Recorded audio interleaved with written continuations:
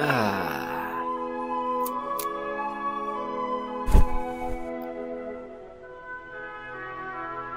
Oh my god, where are my legs? Oh yeah. The tragedy.